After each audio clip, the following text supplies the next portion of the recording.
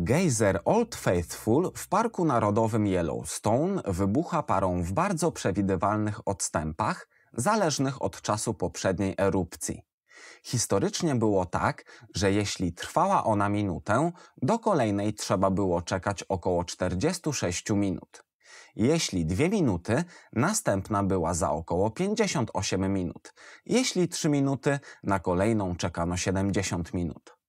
Jak widzisz, jest to, pomijając geologiczne przybliżenie, ciąg arytmetyczny, którego kolejne wyrazy to 46, 58, 70, 82, 94, a różnica wynosi 12. Znajomość ciągów może Ci się więc przydać, gdy zechcesz odwiedzić Yellowstone.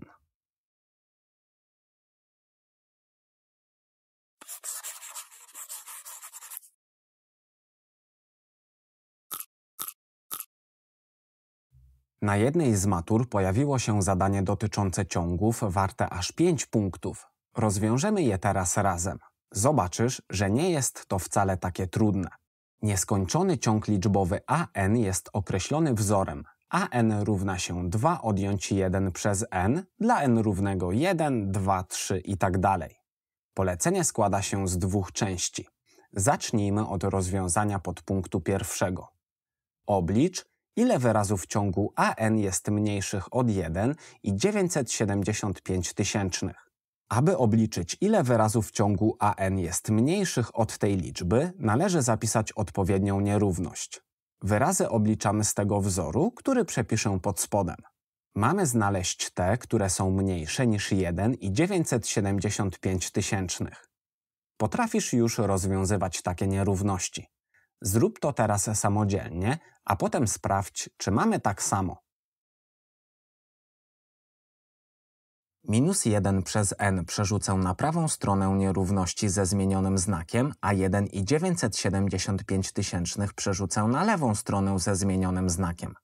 Otrzymujemy 2 odjąć 1 i 975 tysięcznych jest mniejsze niż 1 przez n.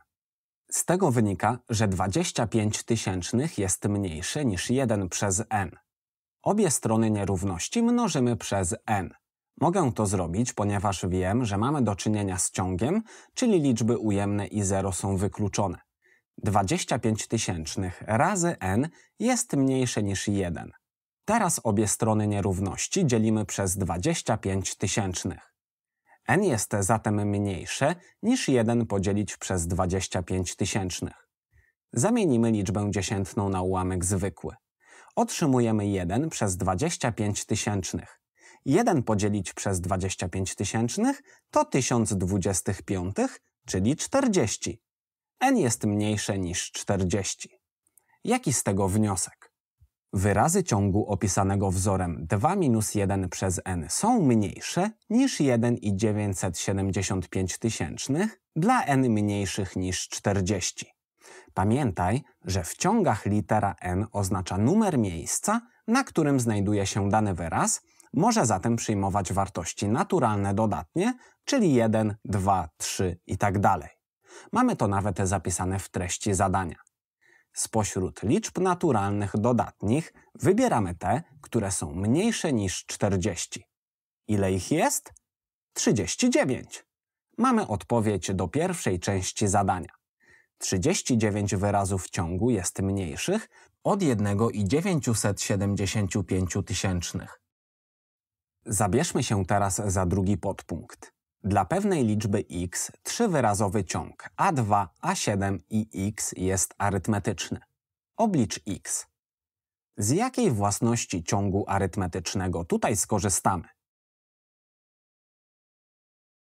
Wiemy, że dla trzech występujących po sobie wyrazów ciągu arytmetycznego średnia arytmetyczna skrajnych jest taka sama jak wyraz środkowy.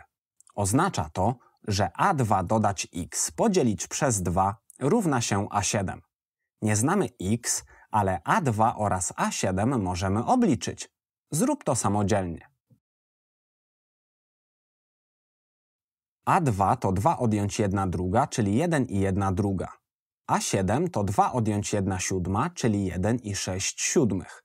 Wstawiając otrzymane wartości do tego równania otrzymujemy 1 i 1 druga dodać x podzielić przez 2 równa się 1 i 6 siódmych. Spróbuj samodzielnie rozwiązać to równanie. Najpierw zamieńmy liczby mieszane na ułamki niewłaściwe. Otrzymamy 3 drugie dodać x podzielić przez 2 równa się 13 siódmych. Teraz obie strony równania mnożymy przez 2. Z lewej strony dwójki się skrócą i zostanie 3 drugie dodać x, a z prawej dostaniemy 26 siódmych. Aby wyznaczyć x, wystarczy teraz przenieść 3 drugie na prawą stronę ze zmienionym znakiem. x równa się 26 siódmych minus 3 drugie.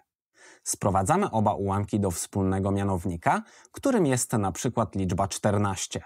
26 siódmych to 52 czternaste, a 3 drugie to 21 czternastych. 52 czternaste odjąć 21 czternastych to 31 czternastych, czyli 2 całe i 3 czternaste. Wykonaliśmy drugą część zadania. Gratulacje! Jak widzisz, to zadanie nie było wcale trudne. W pierwszym podpunkcie należało zapisać odpowiednią nierówność, rozwiązać ją i wyciągnąć poprawne wnioski, a w drugim skorzystać z odpowiedniej własności i rozwiązać proste równanie. Utrudnieniem były jedynie nieprzyjemne ułamki. Inne zadanie, które również pojawiło się na egzaminie maturalnym brzmi następująco. Dwunasty wyraz ciągu arytmetycznego an określonego dla n większych bądź równych 1 jest równy 30, a suma jego 12 początkowych wyrazów jest równa 162. Oblicz pierwszy wyraz tego ciągu. Co wiemy z treści zadania? Wiemy, jaki jest 12 wyraz ciągu an. Jest nim liczba 30. Znamy też sumę 12 początkowych wyrazów. Ta suma to 162 szukamy pierwszego wyrazu tego ciągu. Gdy mowa o sumie ciągu arytmetycznego, od razu zapisujemy na nią wzór i wstawiamy dane, które już znamy. Suma n początkowych wyrazów ciągu to a1 dodać an podzielić przez 2 razy n. Jaki będzie zatem wzór na sumę 12 początkowych wyrazów ciągu arytmetycznego? Spróbuj zapisać go samodzielnie. S12, bo tak oznaczamy sumę 12 początkowych wyrazów ciągu arytmetycznego, równa się a1 dodać a12 podzielić przez 2 razy 12. Wiemy ile wynosi ta suma? Wiemy. 162. W miejsce S12 wstawiamy 162. Nie znamy pierwszego wyrazu. Jego poszukujemy. A czy znamy dwunasty wyraz tego ciągu? Znamy. Wynosi 30. W miejsce A12 wstawiamy 30. Co otrzymaliśmy? Równanie, które należy rozwiązać. Spróbuj zrobić to samodzielnie. Przepisuję 162. 2 i 12 się skrócą. Po prawej stronie zostanie zatem a1 dodać 30 w nawiasie razy 6. Teraz obie strony równania dzielę przez 6. 162 podzielić przez 6 to 27. Z prawej strony zostaje a1 dodać 30. Teraz od obu stron równania odejmuję 30 i mamy minus 3 równa się a1. Pierwszym wyrazem ciągu an jest liczba minus 3. Wykonaliśmy wszystkie zadania. Dobra robota!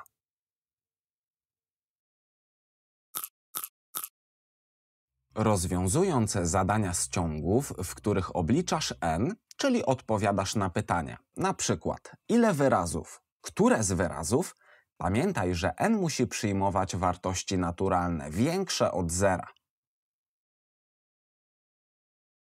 Chcesz wiedzieć więcej o ciągu arytmetycznym? Obejrzyj pozostałe lekcje z tego działu. Wszystkie znajdziesz na naszej stronie internetowej Pistacja TV.